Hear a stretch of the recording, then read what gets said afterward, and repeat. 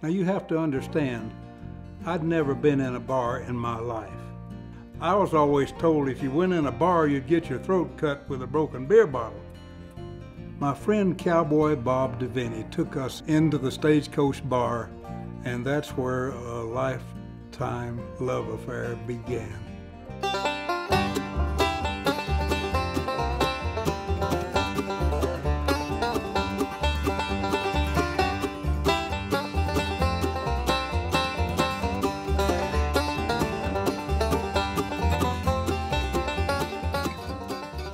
Walt Callahan was the owner of the bar, and you had a window which went back to the rodeo grounds, and you could get your beers through the window.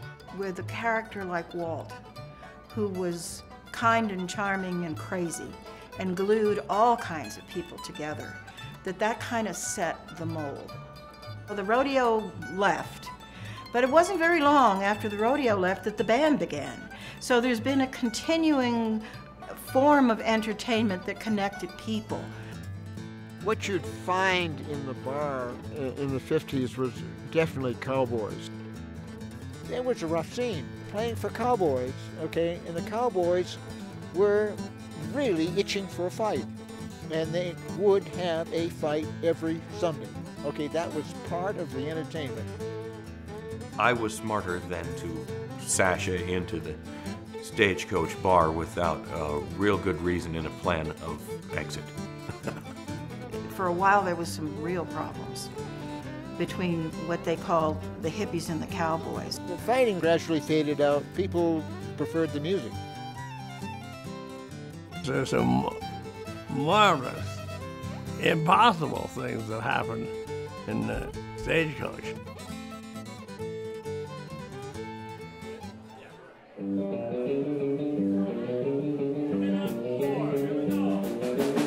My name's Claire Carlson, and I am at the Stagecoach Bar and Grill, and I've been coming here since dirt. I don't live here full time in Wilson, but it still feels like home. So when I come, I, I want to connect with the community, and that's that's what I do at the coach. For me, that's the venue through which I feel a part of things here, and I think that's because the coach isn't really a bar. It's a community center that just happens to serve booze. You can get people from 21 to, to 70 out on the dance floor, even on disco night. It's been, been quite a scene sometimes to see the mix out there. It's this little hole in the wall. It's gone through a lot of evolutions, but it's real.